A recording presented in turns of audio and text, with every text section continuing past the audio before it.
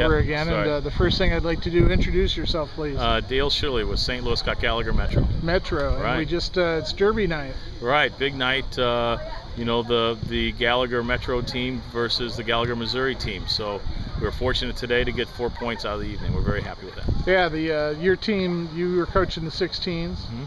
Then you got the three points. Right. So Jeremy, uh, Jeremy, the guys go up one nothing and give up a, a goal to go one one.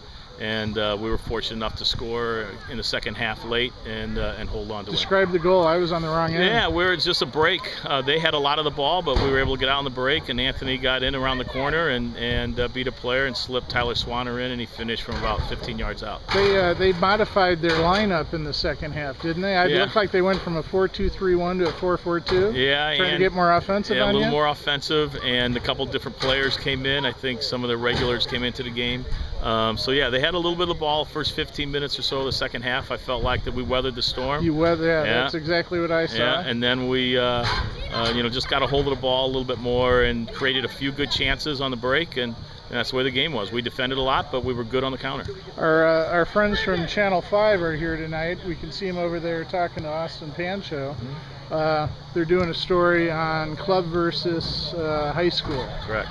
One of the things that stood out for me is obviously you guys had a week to prepare for this. You knew what you were coming Right. into. You had a ta- tactical plan. What was that tactical plan? Yeah, for the 16s, it, we spent a lot of time on our defending in midfield and really trying to get pressure against the ball. oh, with and, Keegan McHugh and yeah, uh, a with the couple of the players boys they they have got. in midfield, you give them too much space, they, they can pick you apart. Right. Um, so for the most part, we did well. We had you know 10 or 15 minutes in each half where we had to chase the ball a little bit. We couldn't really close the ball down, but for the most part, we were pretty good.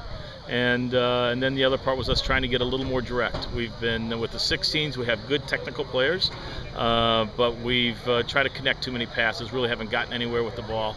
Uh, so we moved a couple players around, changed some of the mentality, uh, added a couple new patterns to how we were going to get out of the back and into the front half of the field, and it worked tonight. So we were able to get in on, on a couple of counters through some of the work that we did over the weekend. And so week. it's fair to say that was the result of having a week to prepare as opposed to a high school environment. Yeah, absolutely. So being able to to watch video from our last set of games, look at some of our problems, study it, study film, discuss it amongst the staff, get out and train it, um, you know, over an extended period of time to prepare the players for the next game is vital to their development and their understanding of how to play. And, and we saw the 16s came in with a pretty good reputation. They were getting some uh, buzz from ESPN, some others. You came out and you uh, got the three points. Right. Yeah. I mean, you know, it, it happens that uh, that we're the underdog, and we don't mind that, and, uh, and we just uh, try to continue getting better and see see if we can, you know, get a playoff spot this year with the team. You got a college showcase going on as well this weekend. What's, Yeah. how's that going? Yeah, good. We have 166 teams here, about 100 college coaches. A number of them were here at the game tonight. Um, so it's really the best of both worlds for both of the academy programs, being able to, to play in a beautiful facility like this at Korte Stadium and, uh, and have college coaches here as well. It's very nice. Thanks, Coach. Congrats. Thank you.